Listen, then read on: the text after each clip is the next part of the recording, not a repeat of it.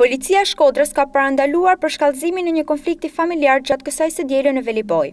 Mësohet se në sallën e komandimit të drejtorisë vendore të policisë Shkodër ka ardhur një telefonatë për një konflikt familjar në Velipojë.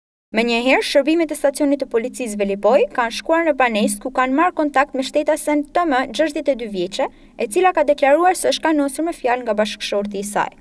Gjatë kontrollit të ushtruar në banesë, policia gjeti dhe sekuestroi në cilësinë e provës materiale një armë zjarri automatik model 56 me tre krehëra dhe 300 fishekë. Në përfundim të veprimeve të bëra, është arrestuar në flagrancë shtetasi Shefqet Muça, 67 vjeç, banues në Shkodër.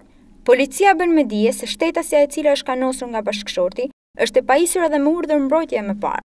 Sa i përket çështjes, materialet iu referuan Prokurorisë së Rrethit Gjyqësor Shkodër për veprat penale Kanosje dhe Prodhim dhe Mbajtje pa Leje i Armëve Luftarake dhe Municionit.